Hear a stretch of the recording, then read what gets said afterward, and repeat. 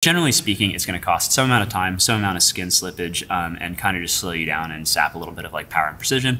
Um, with that three finger drag she's using is going to put more force and load on the flexor digitorum profundus. Mm-hmm. Just this little release here is just kind of slow and inefficient. One of the reasons people don't like slopers is because they have weak wrists. Back for another anatomy of the climb. That's right, we are. Where we look at anatomy and technique.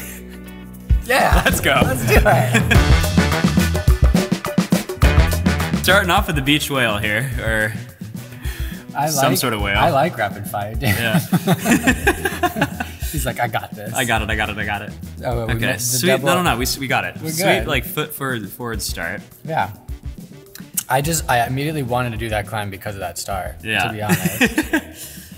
I wonder if that's like typical or whether he's getting crafty with some long legs or something. Yeah. You know? I'm not Every now and then people start with the high feet. so it's a cool name though, the friendly whale. The friendly whale. I like Yeah. that better than the beach whale, I guess. Yeah. you said the beach trail. That's right. So a lot of this is done really nicely, but I, I did spot a couple of things. One was uh, just sort of a note, like this is well selected, but um, a lot of times when you do hand heel matches like this, you want to think about how far you set your heel, both because of the quality of the hold and sort of like what is offered as a position, but also the closer to your hands the heel is, uh, the easier it is to sort of like pivot around that point. And so when you're trying to generate a way like this, um, it's frequently like let's say you're trying to go uh, right-handed out of this position like he is, having the foot a little further apart helps fight that rotation so that you can generate more uh, like linearly. Past that, uh, he's on a really nice hold with his hand and his heel, so he's pretty stable, and he uses this uh, this little bump hold just kind of to adjust and initiate this movement over. Um, so that's good. The downside is what you see happen a lot, especially on uh, poor holds, is that people don't exactly trust themselves, and so they end up with this like little double pump. And so that can be useful, especially if you're stuck in this position, um, so that by pulling yourself away, you kind of fall backwards, and that lets you get into this more straight arm position to pull across. But generally speaking, it's going to cost some amount of time, some amount of skin slippage, um, and kind of just slow you down and sap a little bit of like power and precision. Almost never do you want to do more than one pump, but it takes some practice to do that. Follow up here, this has come up in some of our other videos, but as he swings around, he's both blocked by his arm, so you got a little little body blind. um, can be useful when you know that these kind of positions are going to be achieved to either tick a hold or tick some portion of the wall uh, that is visible um, to use as a guide. Um, so that's part of it, and he ends up just kind of missing this foot that he's going over to. But the other thing is, like as discussed in some of our other videos, he's sort of doing an L sit here. He's not turning to face the hold, and he's not getting that scapular, like sort of front lever type scoop going. Um, both of those, along with a better kind of like identifier for the hold, we'll just let him do this move a little bit more um, precisely rather than having to deal with two foot swings. Very nice palm here, good press.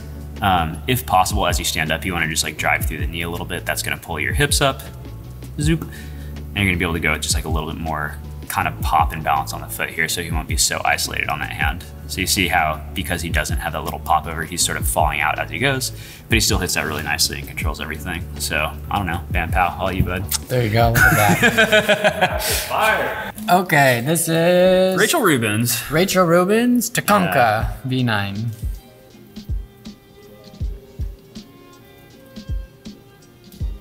Whap. Yep. A pretty shouldery move, good engagement. Mm-hmm. I just like that most of all these moves, except maybe the very beginning, like she actually drops into three finger there. Or she's got a long pinky. Where's long pinky? But but not really having to do a lot of crimping on this Yeah. climb.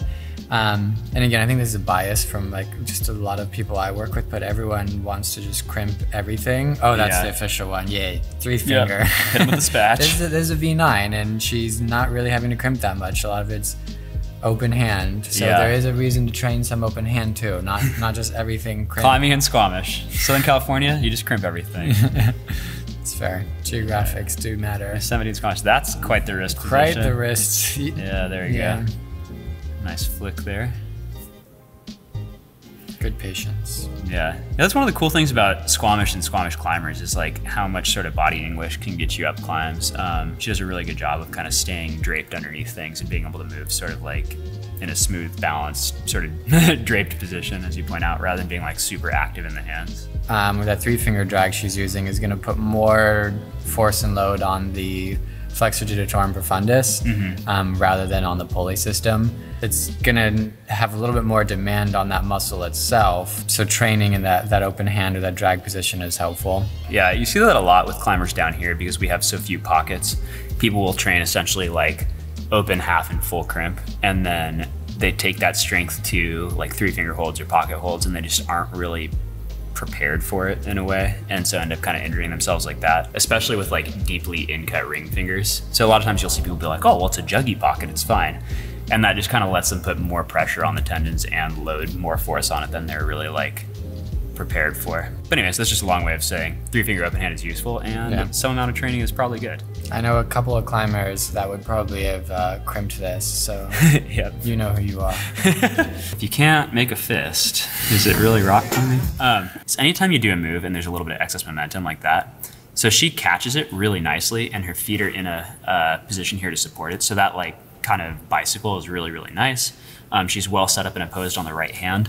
But the thing that you can't really see too easily here is that she's keeping her weight somewhat balanced between the two hands. Um, she's not able to sag out too much further in this direction because of how straight the kind of like right arm or uh, left arm is rather. But um, but the problem is that she's deeper into the cave than you really want to be, and so when she let goes lets go of that, she kind of swings out there, and so she controls it really well. It doesn't seem to be too much of an issue. But again, like all this stuff, especially in longer, more physical climbs or anything relatively limit, um, some amount of sliding is a real problem. Um, like kind of physicality and endurance aside, it's going to mess up your skin, and that's going to be an issue as things get sort of more limit for you. But um, all you would do How to would correct this? Oh, yeah, yeah. Sorry. So you can see that she she doesn't have much more room this way, but she can sag more this way, and so that's what you're kind of seeing is you want to try to adjust underneath the the hand that you're going to be coming into until you feel yourself starting to unweight the offhand. So it's a little bit like the difference between jumping with two hands when you're doing like a double clutch and going like one two for like a sort of paddle type dyno. So it's like as you shift over, you want to control the, the the bottom hand until you feel it starting to come disengaged. So it's like sag, sag, sag, and kind of try to get like all the way set up over here. So at the moment here, she's probably feeling a fair amount of tension through that left foot as she's kind of like digging in and trying to oppose the right hand. But as she shifts a little bit more to the right, this knee is going to open up a little bit more, and you're going to get a little bit of a like clamp between these two feet. Um, she's going to feel herself kind of dangling underneath this right hand, and that's going to start to disengage the left. As soon as that happens, you'll be able to just kind of like float in. Anyways, depending on how big the hold is and how hard the sequence is for you, you are more or less kind of like necessitated to do these things. But at the same time, it's exactly like flash climbing, like visualizing, like a lot of the things that are maybe not essential in any given circumstance. But by doing it habitually over time, it just gets kind of like baked into your climbing process and everything goes better. Bat cave. Really, really unique climbing in Priest Draw. I know. I really want to go. Emil's been a couple of times, but Mm-hmm. he says I'm not allowed to come with. So Well, the problem is they have pockets, which, you know, I like pockets. no, no, no, no. Oh. That's what he said too. not allowed to touch the pockets. Yeah. I mean, just look how many options this, this climb has. Is that a triple bump we just saw? Yeah, yeah. Prop, prop, prop. Interestingly, you could probably just keep on bumping to the uh, to the finish here. I've definitely seen bat hangs on this thing. I mean, hence the name. Oh. Well, shoot. I feel like, does this count then?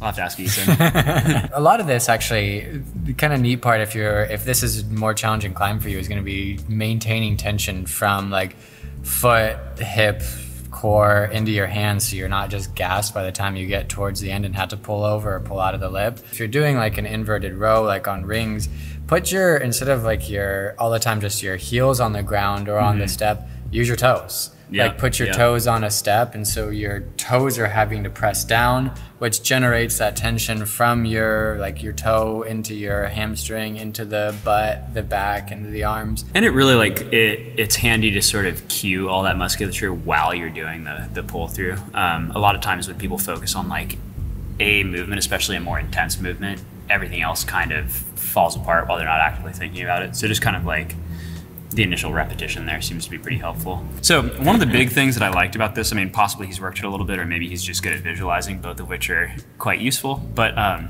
there's very little bobbling with the feet. He just kind of like pivots like bam, bam, bam, bam. But he goes really smoothly from like foot position to foot position, doing very little kind of like fishing around. You'll notice a lot of times people will get kind of held up trying to decide where to put their feet, especially on climbs that have so many options. He additionally climbs with uh, pretty good pace, which I think in general is pretty useful, but especially on something this steep and like kind of physically tiring moving quickly and efficiently is just super, super useful. The final thing was just this little release here is just kind of slow and inefficient, and it's in a position where he has to clamp quite hard at the feet while also kind of like dangling on the hand.